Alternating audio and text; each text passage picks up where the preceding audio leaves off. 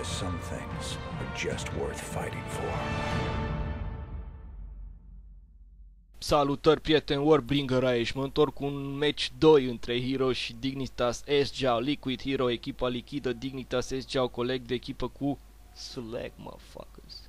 Cu Select, o să vină și Select în uh, cadrul unor casturi, uh, repet, nu este un best of 3 nici în uh, cazul lui Select, deci iarăși spun ce am spus în primul caz, dacă vrei să vezi best of 3-uri, mai bine te oprești, nu va urma un caz 2 aici, între Hero și Dignitas SGAU, uh, pentru că am avut request-uri la cei doi, am încercat să aduc cât mai multe meciuri și cât mai multe meciuri recente, nu, nu vechi, uh, astfel am adus un uh, Hero versus Puma Best of 3 și acum Hero versus SGAU, dar nu Best of 3, ci doar două meciuri între acești doi jucători uh, foarte, foarte buni. Uh, primul meci, dacă nu l-ați urmărit, uh, ar fi cazul să o faceți destul de interesant uh, primul meci între cei doi, oricum SGAU uh, n-a confirmat deloc în meciul întâi. Vom vedea ce va reuși să facă în acest meci 2. Uh, Hero, ca de obicei, uh, um, uh, uh, uh, ce ai frate, uh, uh, uh, ce vrei să spui? Dar vreau să spun, că căutam să găsesc termenul în englez. Băi, nu-l mai căuta în englez, pune în română. Da, uh, pur și simplu îmi încânt ochi individul ăsta, cum joacă și cred că o să aibă un uh, viitor excelent.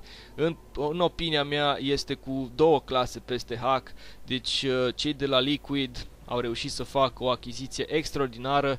După cum bine știți, Hack a plecat la Evil Geniuses, a, plec, a părăsit uh, Liquid, Team Liquid și uh, este acum coleg cu Hydra. În schimb, uh, individul ăsta, Hero, spun eu că face de două ori mai mult decât Hack. Nu e adevărat eu zic că da.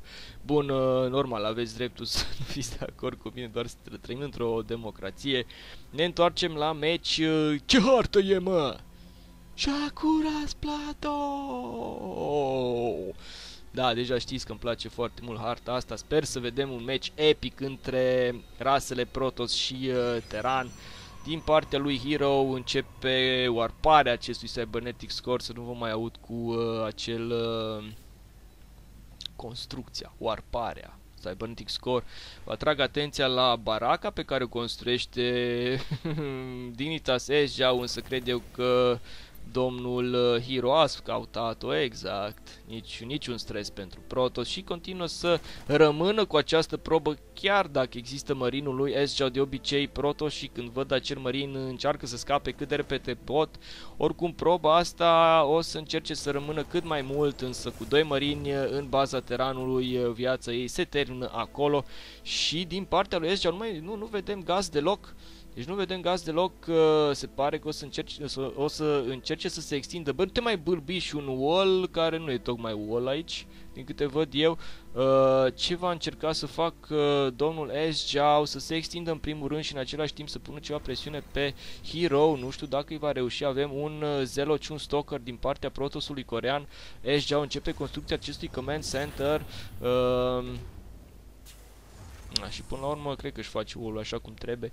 Bunker aici la intrare. Acest stalker prins destul de aiurea, însă va reuși să scape cu el Hero. Este pe galben unitatea protosiană, însă shieldurile alea l-au uh, scutit de mult mai mult damage și poate chiar să moară dacă nu avea acele shielduri. Uh, și ce face Hero? 4 gate-uri și acest robo. Un pic de supply blocked uh, domnul Protoss. În schimb, SG-au, uh, își termină bunkerul de la intrare. Nu știu ce să zic, de-abia cum se ia un prim uh, gaz, încă un barracks din partea lui uh, SG-au. Hmm, hmm, hmm, hmm, hmm, hmm. Warp Prism, mare atenție, în curând se va termina și acel Warp uh, Gate Tech. Cele trei gate-uri aproape terminate și ele și cred eu că Hero ne va încânta din nou cu ceva Warp, dri warp Drism. Bine, fraiere, că ești tu deștept. E Warp Prism, mă... Da, cu niște Warp Prism Play. Pilon aici pus de către Hero. Mare atenție, Warp Prismul ăla poate să ofere High Vision, după care va putea să și warpeze aici unități plus de la pilon, plus din acel Warp Prism. Mare atenție, prieteni! Unde naiba ești? Aici ești War Prismule. Bun, se ia un stalker în el, între timp SG au toate trupele la intrare, bunkerul umplut, bine, mersi. Oh my god. Oh my god. Nu, nu, nu, nu, nu, nu, nu. Se dă drumul la primul lot de trupe din Warplay, se vor încărca și acestea. De parcă ăsta joacă teran, și încarcă toate tancurile și trupele. My friend, poți să faci warp, exact, asta și se întâmplă. Eșgeau complet off of the, off the position sau off position sau cu armata completă aiurea. Mare atenție, există doar marini în componența armatei terane, deci stockerii ăștia vor putea să aibă o zi superbă versus ei. Se trag toate, uh, da, to toate SCV-urile s-au tras de pe de minerale și pur și simplu Eșgeau vede cum cad trupele. Uh, Hero nu, va, nu se va opri, va continua să facă warp exact de pe 4 gate-uri și să vedem dacă va continua să rămână, va rămâne ca și un, unități omorâte, 20 de muncitori omorâte de către Hero și Ash arată urât de tot. A cam pierdut toate trupele pe care le avea. Mai vin niște SCV-uri, însă ce să facă SCV-uri versus acești stalker care au o viteză incredibilă.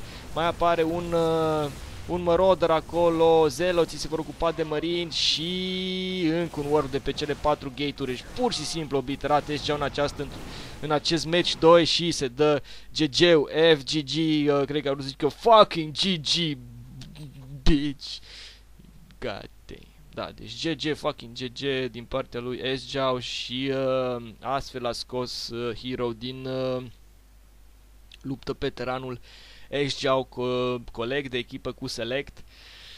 Da, prieteni, meci foarte frumos, deși scurt, între Hero și Ashgeau. Ați văzut și voi ce înseamnă să joci agresiv, ce înseamnă să ai tupeu să folosești acest War Prism. Deci dacă joci Protoss, te încurajezi să o faci tot mai des versus un teran care mentalitatea este să te fortifi, să ții trupele aici și uh, ați văzut ce înseamnă să nu ai absolut nimic în zona asta Plus că SG avea pur mărin pentru că s-a extins. După cum bine vedeți, Hero nici vorbă de așa ceva.